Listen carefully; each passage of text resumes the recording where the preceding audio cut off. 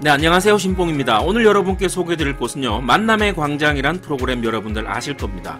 백종원 대표와 연예인들이 나와서 지역 특산품을 가지고 요리를 만들어서 휴게소에서 팔고 있는데요.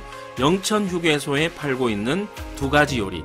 돼지 토마토 스튜와 만남 중화 제육면을 먹으러 영천 휴게소 대구 방면에 방문을 해봤습니다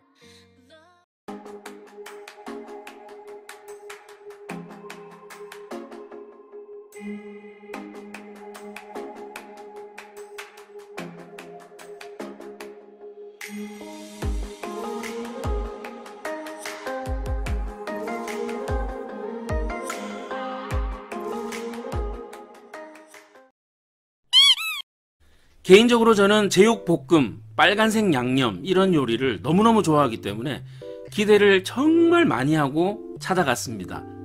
자, 맛있게 한번 비벼봤는데요. 의외로 걸쭉하기보다는 물기가 조금 있는 그런 스타일이었습니다. 그리고 면발은 우동 면발 같은 스타일이었고요. 토마토 스튜는 향이 아주 좋습니다. 그리고 토스트 빵을 3등분해서 잘 구워낸 스타일이고요. 그리고 속 재료를 보시면 당근, 감자, 양파, 그리고 돼지고기가 들어가 있습니다. 지금 보이시는 이 돼지고기가 바로 영천 돼지입니다. 제육면에 들어가 있는 마늘도 영천 마늘로 만들었다고 하네요.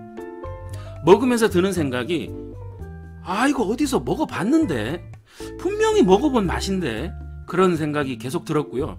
딱 보이시는 이 느낌 잘게 다진 고기를 빨간색 양념으로 한 제육 볶음 스타일 계속 저는 언젠가 갔던 기사식당이 계속 생각났습니다.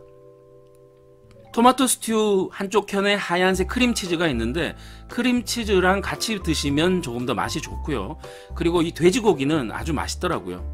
부드럽고 잡내도 없고 감자라든지 재료도 다 신선하고 좋았습니다. 진한 그런 스튜를 생각을 했는데 아주 옅은 느낌의 얼핏 좀 싱겁다라는 생각이 좀 들 정도로 아주 건강한 맛이었어요. 보통 백종원 대표가 하는 음식 생각하면 뭔가 자극적이고 계속 물이 당기는 단, 짠 그런 음식을 생각하실 텐데 그거와는 정반대라고 생각하시면 됩니다. 불향을 기대를 했었거든요. 중화 이 두 글자 때문에 근데 불향 같은 건 전혀 없더라고요. 그래서 중학생 아들한테 맛이 어떠냐고 물어봤더니 학교 급식 시간에 나오는 제육볶음 맛하고 아주 비슷하다라고 이야기를 하더라고요. 그러면서도 아주 맛있다고 엄지 척 해주더라고요. 남아있는 소스를 먹으면서 든 생각은 오히려 면으로 하지 말고 밥으로 해서 덮밥 형태로 하면 면의 물기를 더 꼭 짜낼 필요도 없이 오히려 더 밥과 잘 어울리지 않을까 하는 그런 아쉬움이 좀 들었고요.